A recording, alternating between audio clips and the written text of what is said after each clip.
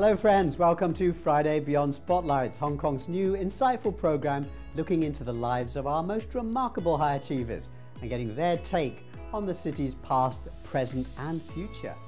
Our guests will give their personal perspectives for a new generation, inspiring Hong Kong for a better society. So sit back and relax, and we'll take you beyond the spotlights.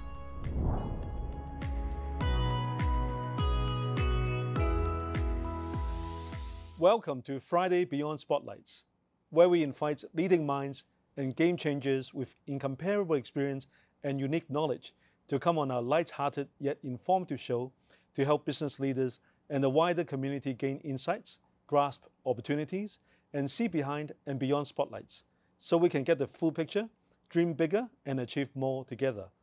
I'm your host for this episode. My name is Nick Chan, lawyer and lawmaker. And Friday Beyond Spotlights is honored and pleased to present to you our guest today, Ms. Suhanya Raffel, Museum Director of M+, and we are here today at M+, Asia's first global museum of contemporary visual culture in the West Kowloon Cultural District of Hong Kong.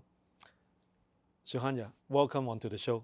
Thank you. Wonderful to be here. Some people used to say uh, Hong Kong is a bit of a desert for uh, musicals or some other art form.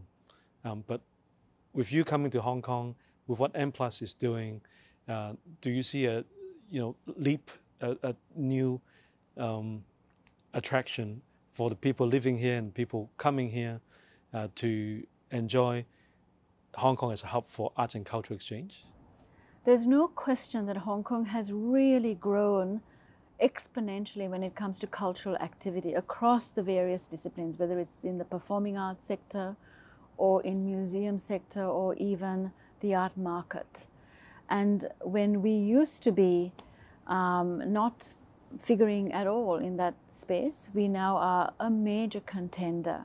In fact, the art market is one of the strongest compared to New York or London. And now, for the first time, we have an institution that is equal to the major institutions in Europe and North America, the UK.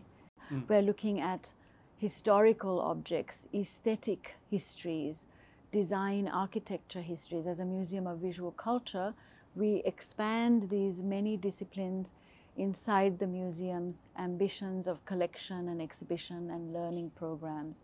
So Hong Kong is not a cultural desert. Hong Kong is the international art hub where East meets West.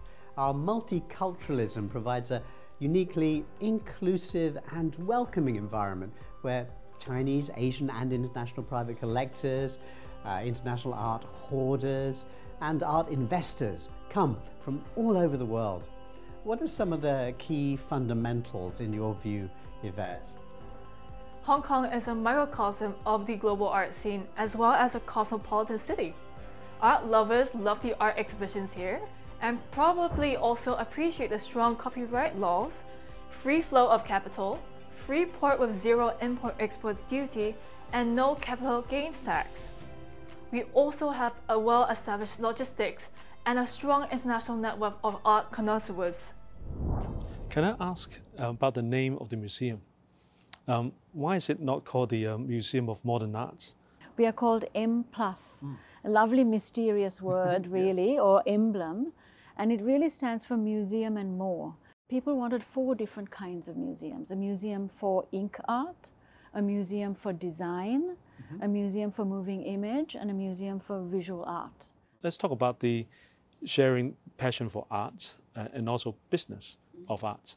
Do you welcome that? Yeah, so we are a museum. We have significant collections of contemporary and modern visual culture mm. dating from the mid 20th century and into the future. Mm -hmm.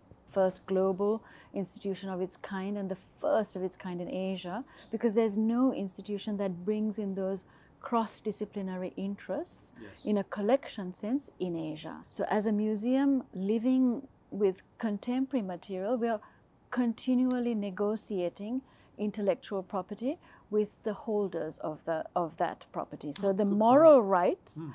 are something we have to always discuss and negotiate ownership around. So part of an acquisition mm. of anything includes a discussion around where intellectual property rights rests and for what purpose. As an institution that is education focused as well, we get the intellectual property rights in a, in a much more broader sense than in a commercial sense. But we do work very closely on these uh, contracts to make sure that we can go out in the most appropriate way. Usually, the copyright protection is life of author plus 50 years, and you're dealing with modern art, um, contemporary art, and uh, visual culture. So, in that sense, often the copyright still is with you know the author. So we, we respect that. So we have to negotiate it when um, we move forward with any kind of publishing, including merchandising. And we have a museum shop. And in the best form of great museum retail, we work very closely with makers to do new expressions of existing objects, for example, as limited editions for people to acquire and buy.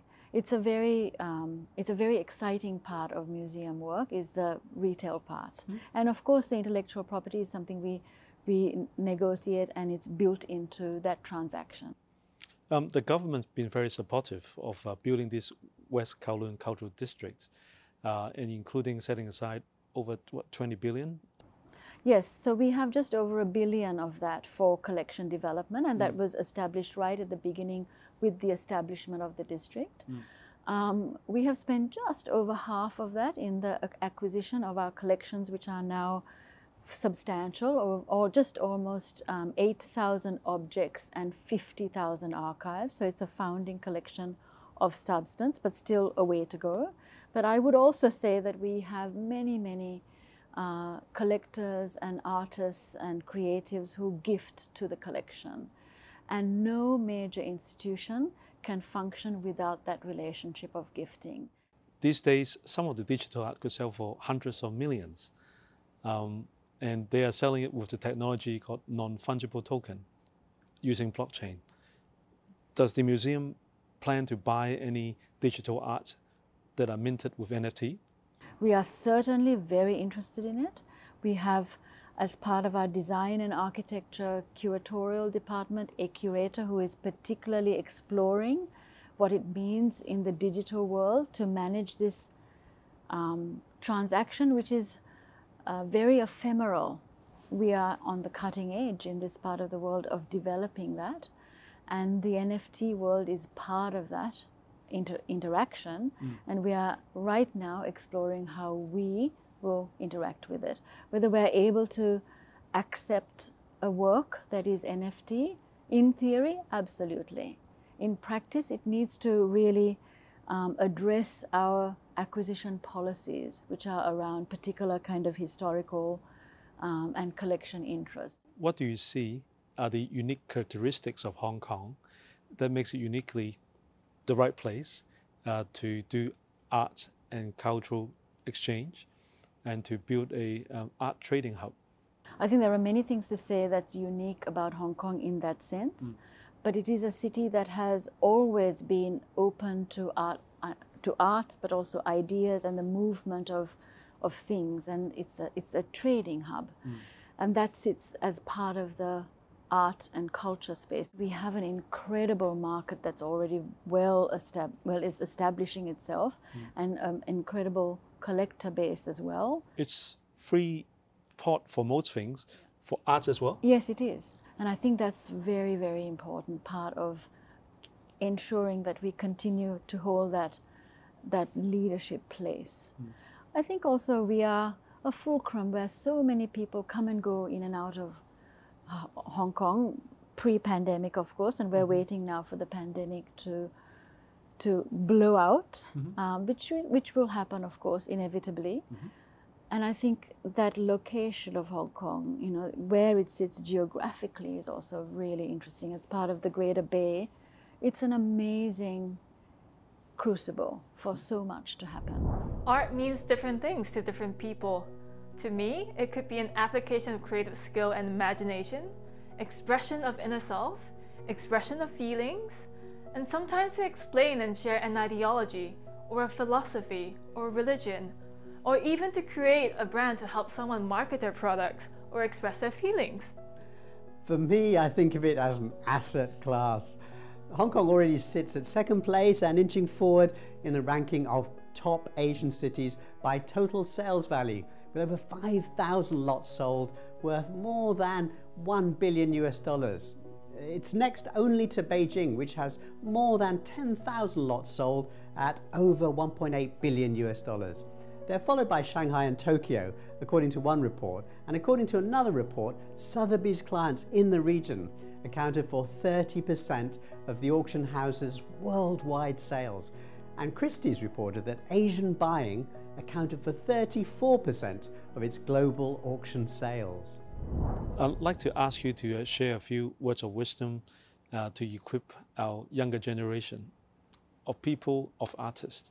Could you share a few words? Passion, focus, self belief, and just do it. Thank you, Suhanya. And uh, we'll be back after the break.